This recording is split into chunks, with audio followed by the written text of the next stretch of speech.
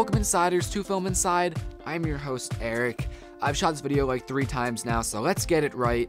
Today we're going to be doing a review of the Canon XA20. The Canon XA20 is a beginner's and professional camcorder.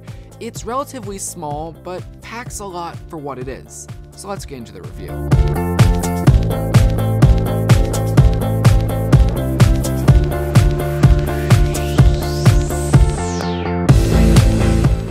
Straight into the design of this camcorder, it's relatively a small camcorder. It's pretty easy to hold in one hand and pick up and move wherever. On the right side, there is your LCD screen. This comes and flips out all the way, so I can look at my face right now and see if I'm in focus and the framing and whatnot.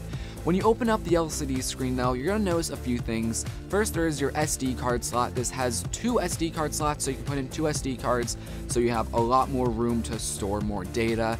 There also is an infrared switch, so if you for some reason wanted to shoot an infrared video for like a ghost hunt or something, you can do that. It's not actually true infrared, it just makes all the exposure options auto and puts it all in black and white. So I mean, it does kind of work, but I don't really see the point of it. And there also is some custom buttons you can program, which there's custom buttons all over this camcorder. I'm not really going to talk about them much because if you want to use them, that's your own choice. But looking at the LCD screen though, it's a decent size, like 3.5 inches inches. There's again some more customizable buttons on the side. Looking directly at the LCD screen though, like I said, it's a decent size. It also is a touchscreen, so I can maneuver my way through all the menus and whatnot. All the menus are basically the same as any other Canon camcorder these days, so I'm not really going to go over how to operate the menus, at least not in this video. If you want to see it though, let me know. But I do first recommend uh, going into the menus when you get this camcorder. And for me, uh, I click the function button, then record program, and I recommend putting it to a manual exposure mode. This is so you can really maximize all the functionality of this camcorder and always get the right exposure you want. At least that's for me, because I like controlling all my exposure. I also recommend scrolling down and going to image effect. Now we'll talk about this a little bit later, but I've noticed that this camcorder sometimes is kind of too sharp and sometimes it's also not saturated enough depending upon my shoots. So I always go into image effects and first I change the contrast, I bring up usually the contrast, sometimes even the color depth, but I definitely recommend bringing down the sharpness to negative 2. This is so everything isn't as sharp because sometimes I feel like this camcorder can be a little bit too sharp on like just like facial features like sometimes it brings out like pores on my skin which you really don't want to see. Moving on though going to the back there is the record button there also is where you put your battery as well as a little function like switch thing so you can move your way through the menus if you don't want to use the touchscreen there also is an electric viewfinder so if you pull it out it activates and you can look through it and see exactly what the camera sees. And that's great and all. It's not really a great EVF, but if you want to kind of check exposure if you're in a very bright environment, it is pretty helpful. Then looking on the left side of this camcorder, there's the handle, as well as some inputs and outputs, so I have my power and AV input. Then moving down the camcorder, there is other inputs for like USB, for your mic, your headphone out, HDMI, etc. Moving now to the front of the camcorder, there obviously is the lens. This lens has 20x optical zoom, it has stabilization, it's all great, really no complaints. There also is a lens hood that this camcorder comes with, so you can just take it off easily, and if you wanted to protect your lens, just flip that switch and now it's closed. Now around the lens though, there is a lens ring, and you can program this to do two things. You can either program it to be a focus ring, so if you want to do manual focusing, you can also program it to be a zoom ring, so it'll zoom in and out when you turn it. We'll get back to the rings a little bit later. There also is another ring a little bit underneath it, and you can adjust whatever parameters you want with it. There's a few you can set. I have it set up so I can adjust my exposure with it, but again, we'll get back to that later. But now moving to the top of the camcorder, there is your zoom rocker, as well as an on and off switch, and there also is a hot shoe mount, which lets you add an audio bracket to the top of the camcorder, which actually came with my camcorder. I guess I should call it a handle, but there's audio controls in it, which is really awesome. But before we get to that, First, at the top of the handle, there is a record button, so if you want to click that instead of the record button on the back. There also is a cold shoe mount, so I can have other adapters like a microphone, a light, something like that. But looking at the audio features this handle gives you, it gives you two XLR inputs, and on the opposite side of the XLR inputs is all your controls. So you can set their exact levels of the, each audio input manually. You can also switch it to automatic if you want. You'd also have the option to turn on and off phantom power. So my microphone right here, it's a shotgun mic, it needs phantom power. So I flipped on phantom power and now I have phantom power going to my microphone. And usually, like people with uh, DSLRs, they need a complete separate audio interface just to run a microphone. This has it all built in. Just overall, when it comes to audio, this camcorder is excellent in the audio department, way better than like a DSLR. Of course, there might still be room for an external recorder, but just the preamp in this camcorder is great. It's awesome that it can have XLR inputs and control like the levels, the phantom power very easily. Now with that said though, there are also internal microphones if you want to use them. Of course, internal microphones are nothing good, but if you want to listen to the internal microphones, well, here you go. Alright, so now you should be hearing the internal microphone on this camcorder. Again, obviously it's not that great. It's a stereo capsule, but hey, I mean, if you have to use it, I guess it's not too bad. So there's the entire design of this camcorder. It's relatively compact, but still has a lot of features, buttons, dials, and whatnot.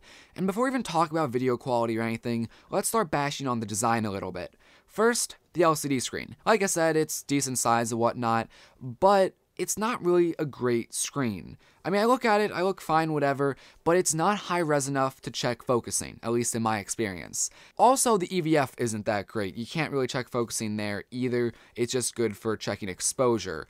And you can check exposure okay on the LCD screen and the EVF, but color reproduction on both the EVF and the screen are really bad. I mean, I'm looking at the screen right now, and some things are darker than they should be. My face actually is kind of a very tints of red, and when I put it on my computer, it looks very different. So you can get used to it, but realize the color reproduction on both the EVF and the screen are not that good. The other thing I have to hate on is the dials and the rings. So like I said, there's a big dial or ring, whatever you want to call it, around the lens, and you can adjust it to be either a zoom ring or a focus ring. I have it set on focus because zooming is very impractical with it. But focusing isn't that much better. If I set it to manual focusing, you have to turn the ring a lot to get it to focus on the points you need. It's not as smooth as like a DSLR. The DSLR or a DSLR uses a actual mechanical ring, like it moves gears and whatnot, when the ring on this camcorder kind of detects what you're doing electronically and depending on how fast you turn the ring or how slow, it doesn't always focus to where you want it to. Sometimes I have to turn it a lot before it actually gets to where I want to focus to. And that's the same problem with the dial below the main ring. This dial is very small and I use it to adjust my exposure, but sometimes you still have to turn it a lot to get it to actually go to the exposure you want it to. With that said, that small dial really isn't that big of an issue, but it's still not very practical. Realize you can obviously get used to it and it is usable to a degree. It just takes some time to get used to and isn't always practical pending upon what you're doing. Of course, I come from a DSLR background, so I'm used to a little bit different things but still, it's nice that these features are there. But okay, so now we talked about the design, we talked about audio. What about video quality? Well, right now I'm shooting with the Canon XA20. What do you think? Right now, I'm basically in a studio environment. I mean, I have a lot of lights around me. Again, it might not be perfect, but it should look pretty decent. But let's roll a few more videos just for you to get an idea of how this camera actually performs.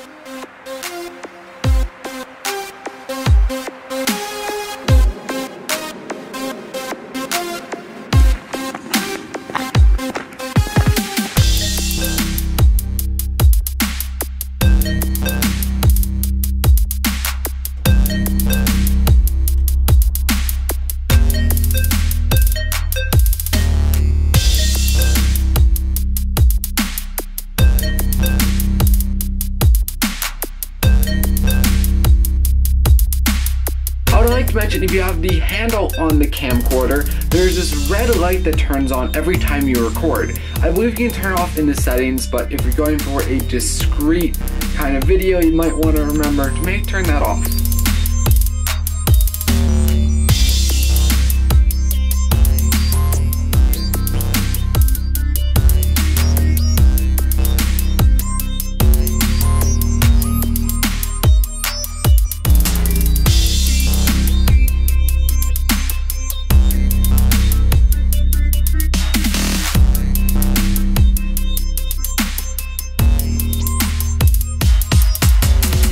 You go, there are some video clips. What do you think overall of this camcorder's quality? In my opinion, I think the video quality is pretty good. I mean, it's a professional camcorder, so you should honestly be expecting a decent amount, especially for its price tag of around $2,000.